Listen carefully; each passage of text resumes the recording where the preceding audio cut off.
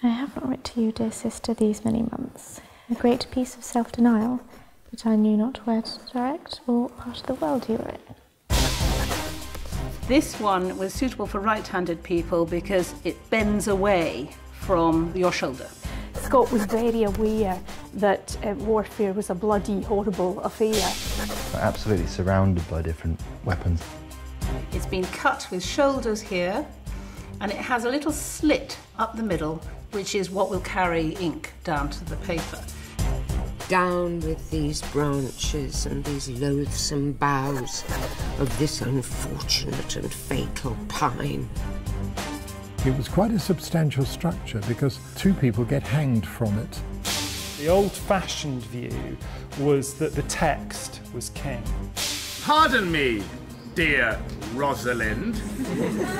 Nay, if you be so tardy, come no more in my sight. For this will be St. Michael's night, and though stars be dim, the moon is bright, and the cross of bloody red will point to the grave of the mighty dead. One of the great legacies of Scott has been to make other people look at Scotland through his lens.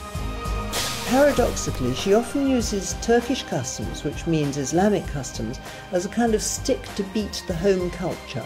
Sometimes the Sultan diverts himself in the company of all his ladies, who stand in a circle around him. It's not so much a purely private letter, much more like a Facebook page or even perhaps a travel blog.